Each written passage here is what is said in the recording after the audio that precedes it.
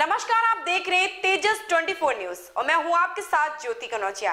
आइए रुक करते हैं खबर की ओर। मानसून की दस्तक के बाद मुंबई के निचले क्षेत्रों में पानी भरने और सड़कों के जलमग्न होने की तस्वीरें इंटरनेट मीडिया पर पुरानी हो चली हैं। कंक्रीट के फर्श पर अचानक बड़ा गड्ढा बनने और देखते ही देखते उसमें कार के समा जाने के नए वीडियो ने रविवार को इंटरनेट मीडिया पर सनसनी पैदा कर दी है। वायरल वीडियो मुंबई के घाट पोपर वेस्ट के कामा लेन स्थित राम निवास सोसाइटी का है। चंद सेकंड के इस वीडियो में दिखाता है कि परिसर में कुछ कारें खड़ी हैं। अचानक एक कार के सामने कंक्रीट के फर्श में बड़ा गड्ढा हो जाता है और पानी ऊपर तक आ जाता है। वहाँ खड़ी एक कार आगे की तरफ़ से गड्ढे में समाने लगती है और देखते ही देखते उसमें डूब जाती है। हालाँकि उसके पास आसपास खड़ी कारों को कोई नुकसान नहीं होता है।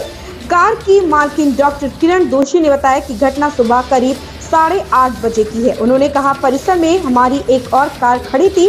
उसे साफ़ करने वाले ने हमें सतर्क किया। हम घर के बाहर निकले, लेकिन हमारी आँखों के सामने ही कार कुएँ में समा गई। उन्होंने बताया कि कुआँ करीब 100 साल पुराना और 30 फीट गहरा है। एक पुलिस अधिकारी ने बताया, कुछ साल पहले आवास सोसाइटी ने कुएँ के आधे हिस्से को कंक्रीट से पाट दिया था। वहाँ रहने वाले लोग उस जगह का कार पार्किंग के रूप में इस्तेमाल कर रहे थे। घटना की सूचना के बाद स्थानीय थाने व ट्रैफ़िक पुलिस की टीमें वहाँ पहुँची और वाटर पंप तथा क्रेन की मदद से कार को बाहर निकाला। उस इलाके को घेर दिया गया है ताकि कोई हादसा न हो। घटना में कोई हताहत नहीं हुआ है। उधर ब्रह्म मुंबई महानगर पालिका का कहना है कि उसका इस घटना से कोई लेना देना नहीं। कुआँ आवास सोसाइटी के परिसर में है। सोसाइटी को सुरक्षा संबंधी आवश्यक कदम उठाने के लिए कहा गया है। उपचुनाव में हारे हुए प्रत्याशी ने दी आत्महत्या की धमकी। मतगणना में लगाया धांधली का आरोप। रामपुर में हुए प्रधानी के उपचुनाव में हारे हुए प्रत्याशी ने दी आत्महत्या की धमकी। मतगणना में लगाया धांधली का आरोप। प्रत्याशी ने कहा, अब वे जीना नहीं चाहते हैं। वे आत्महत्या कर लेंगे। जीते हुए प्रधान को हराने और हारे प्रधान को जिताने को लेकर हारे हुए प्रधान ने दी आत्महत्या की धमकी। जिला कलेक्ट्रेट में धरने पर बैठ गए हैं। जी हाँ, अभी 12 जून को हुए उपचुनाव को लेकर एक प्रधान पद के प्रत्याशी ने धांधली का आरोप लगाते हुए शिकायत की है कि उसको पहले तीन वोटों से जीता हुआ घोषित कर दिया। उसके बाद में हारे हुए प्रत्याशी को जीता हुआ प्रधान घोषित कर दिया गया।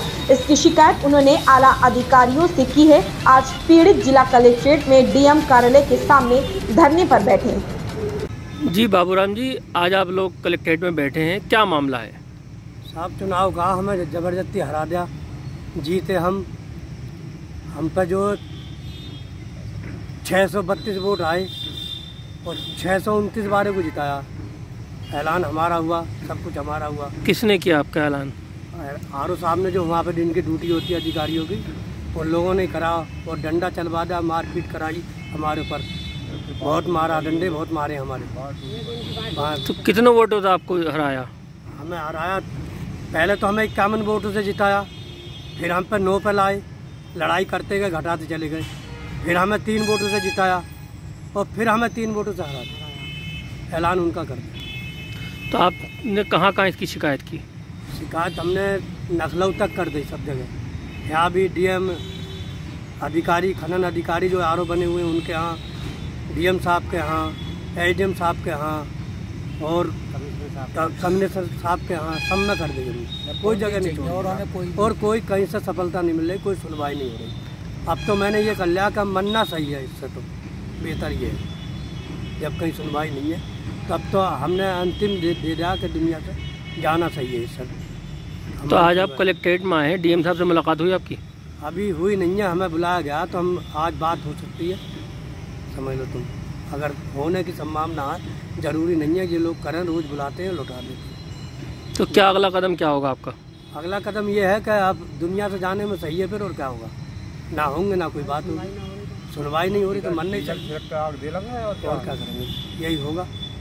कोई हमारी कहीं सुनवाई नहीं तो क्या ऊपर वाला सुनेगा ऊपर जाकर ये होगा।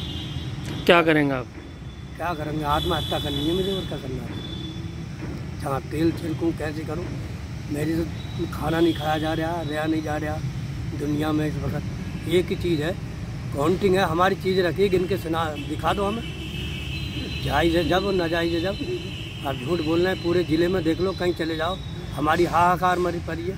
सब जिस दफ्तर में जाओगे गाँव से ज़बरदस्ती हराया।